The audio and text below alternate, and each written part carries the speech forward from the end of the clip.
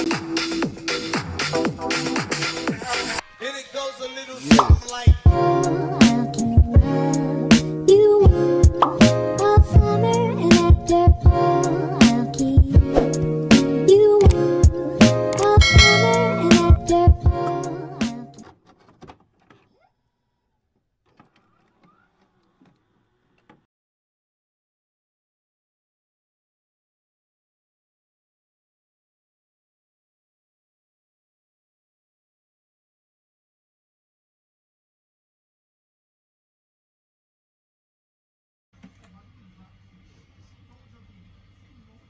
Painitin muna yung kawali. No?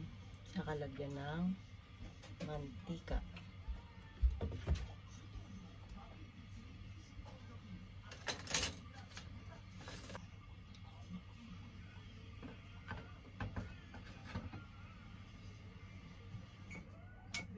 Ayan. Saka natin igisa yung bawang.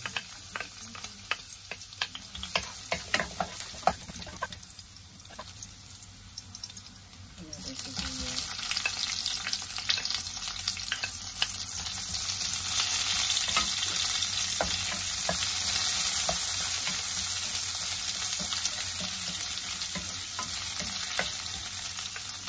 Yun na lang natin.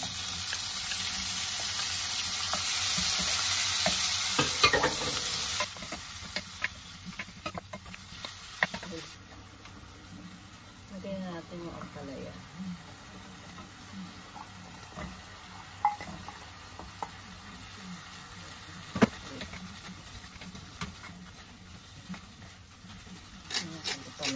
Lagyan ng paminta or black pepper.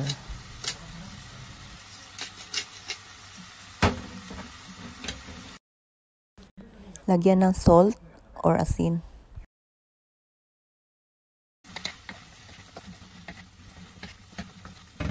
Kunti, kunting tubig. Kunti lang po. No? Ayan, kunti. Tapos yan. Hayaan lang natin ng kumulo konti. Ne? Tapos lagay natin, lagyan natin ng dry shrimp.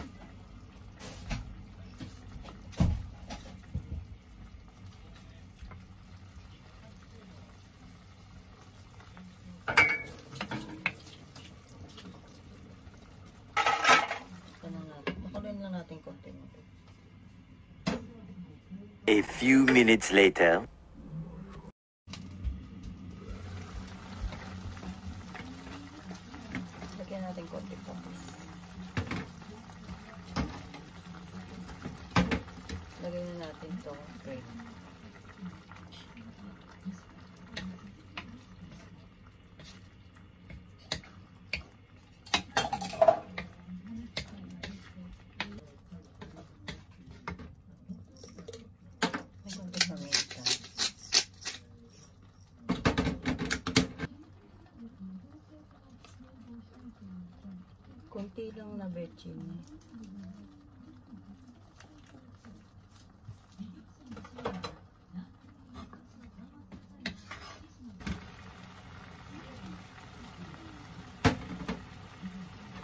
Lagay na natin yung tofu.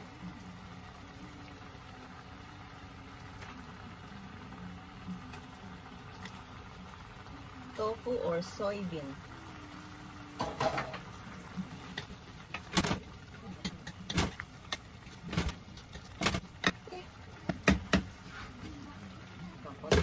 A few minutes later. Luto na!